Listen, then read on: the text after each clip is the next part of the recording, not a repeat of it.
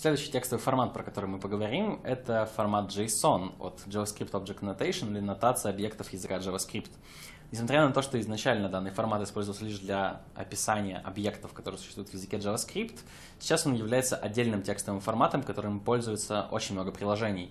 Если я покажу вам фрагмент документа в формате JSON, он едва ли покажется вам незнакомым, потому что в JSON мы описываем такие основные сущности, как числа, строки, списки, объекты, но объекты в JavaScript ведут себя на самом деле так же, как словари, они хранят в себе пару ключ значения. Также мы храним значения true, false и null, что является аналогом none в языке Python.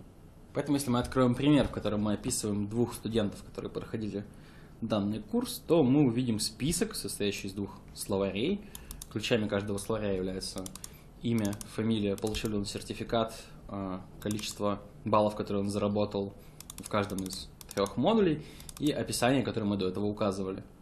Все верно, все почти то же самое, что мы делаем в языке Python, когда мы создаем словари и присваиваем им какие-то значения. Однако есть небольшие детали. Во-первых, ключом в JSON-объекте может быть только строка. Во-вторых, значение true и false у нас пишется с маленькой буквы, а значению none у нас будет соответствовать значение null. Также строки мы можем объявить только внутри двойных кавычек, однако помимо всех таких мелочей, каждой сущности в JSON существует аналог в языке Python. Именно поэтому нам очень удобно пользоваться данным форматом. Для того, чтобы считывать и записывать данные в JSON формате, в языке Python существует библиотека JSON. Сначала мы импортируем библиотеку JSON, которая является частью стандартной библиотеки языка Python. Затем мы объявим два словаря Student 1 и Student 2, которые содержат в себе описание студентов, которые проходили наш курс, их оценки и их имена. Затем мы соберем все наши данные вместе внутри одного списка, который содержит в себе Student 1 и Student 2, а затем мы используем нашу функцию dumps из библиотеки JSON. Функция dumps принимает первым аргументом а, объект языка Python и возвращает соответствующее ему строковое представление в формате JSON. Также мы передали пару дополнительных аргументов. Это indent, это количество отступов, которые нужно использовать в списках и словарях.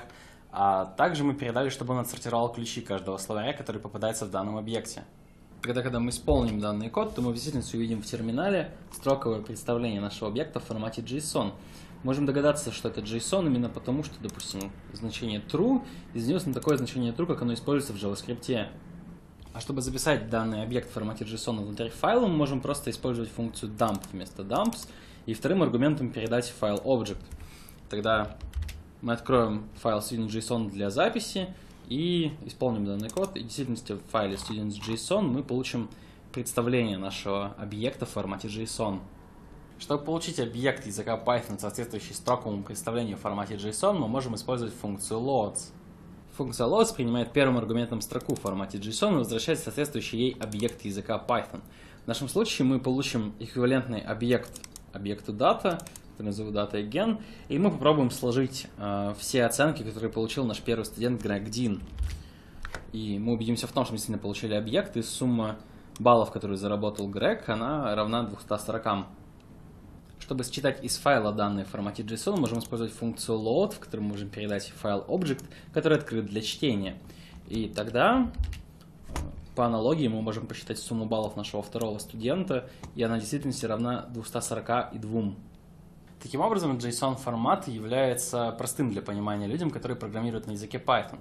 Просто потому, что все сущности, которые мы объясняем с помощью JSON-нотации, они также присутствуют в языке Python и записываются аналогичным образом.